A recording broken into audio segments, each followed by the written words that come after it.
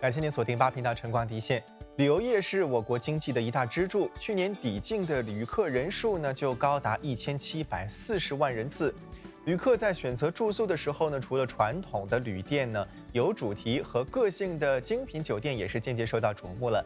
一些标榜文艺风或者是文化价值的酒店呢，在致力于让住客有独特的体验之余，也肩负着向海外访客介绍新加坡设计和艺术家的使命。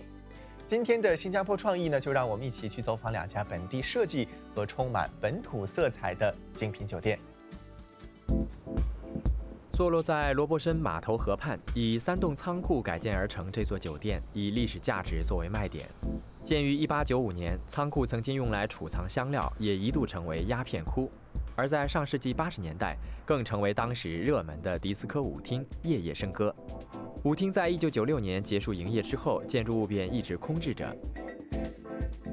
然而，这几栋仓库在本地建筑师和室内设计师的巧妙构思之下，在二零一七年一月以精品酒店重新开门营业。From a design perspective, we wanted to be modern, yet bring back certain Singapore elements into it, remind Singaporeans of the past, yet keep it at a very high level of modernity. 由于仓库已被市区重建局列为受保留建筑，原来的外墙和建筑结构必须保留。加上仓库已破旧不堪，因此建筑师在设计酒店时面对不少挑战。呃，进去的时候我们就看到屋顶开始漏水，那地上都有很多松掉的砖块，那屋顶就有很多横架支撑着屋顶。那跟我们发现，其实很多横架都是。之前的用户，他为了支撑屋顶的重量而建造的，而不是原有的横架。作为一个酒店的话，呃，我们需要考量着很多不同的因素，比如隔音或者加强它的建构。我们跟客户谈了很久，所以我们最后决定了这三十七间的一个布局，因为要得到最有效的布局。有些房间就因此没有了这个窗口，我们就设法想在屋顶上开天窗，可是因为又不能够动到这个屋顶的原有呃形状，那我们只好跟呃市区重建局商量如何制造这个天窗。除了建筑格局的设计大胆创新，设计师也在挑选家具、布料和地板上费了不少功夫，以降低工业化内部的冰冷。I think small touches like the details, if you look at the rooms, for example, it's all in very muted colors. Uh, we've kind of clad uh, leather on a lot of surfaces so you feel that plushness and it's not hard and cold. So all these elements give it a very warm and kind of place that you want to really stay for a long time. 标榜着本地创意和文化，酒店也在各方面选择同本地企业和本地设计师合作。 We've tried to celebrate local entrepreneurs, uh, whether it be Coffee Cups in the Room, uh, which is done by a, a, very famous local company called Mudrock, whether it be our bedspreads uh, that we actually worked very closely with Matter Prints, uh, who've done that for us.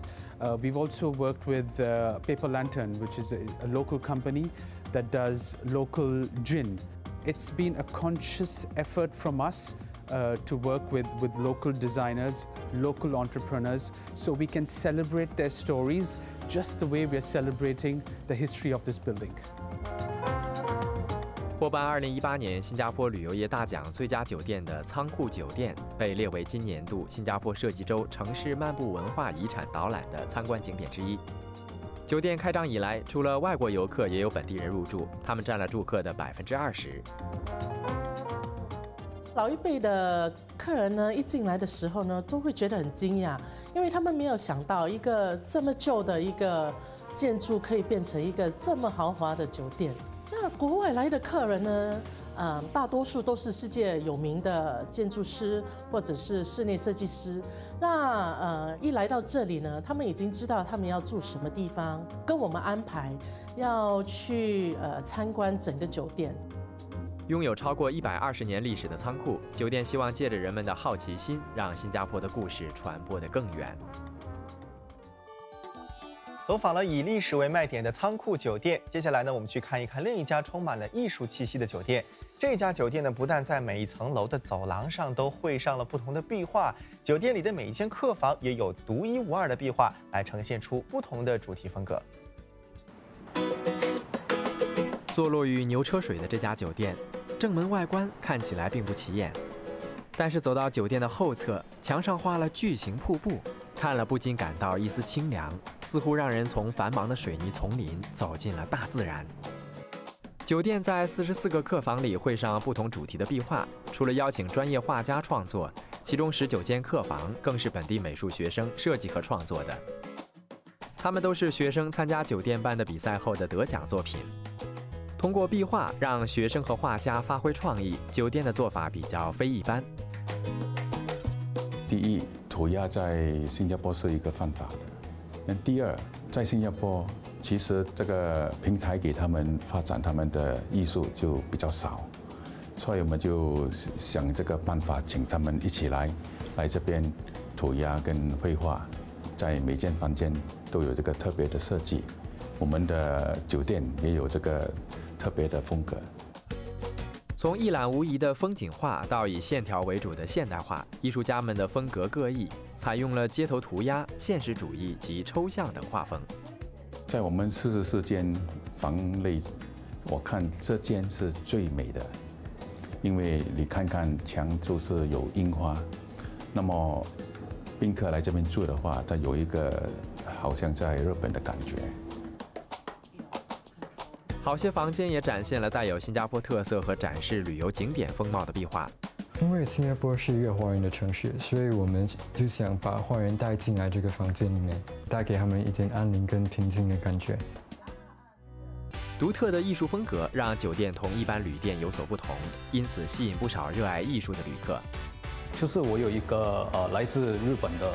呃，朋友他在这个 Hotel Clover 住了几天，他就跟我说，呃，这里的房间很很不同，所以我想不妨来这边试一试。就呃，房间的壁画就由那个艺术学院的学生所绘上的，所以我觉得很不错，就让他们有一个呃空间，就展示他们的才华，对，跟其他的那个酒店很不同。好了，感谢您收看今天的晨光第一线。如果您想要重温我们的节目，可以浏览我们的网页。我是蒋焕，我们明天再见。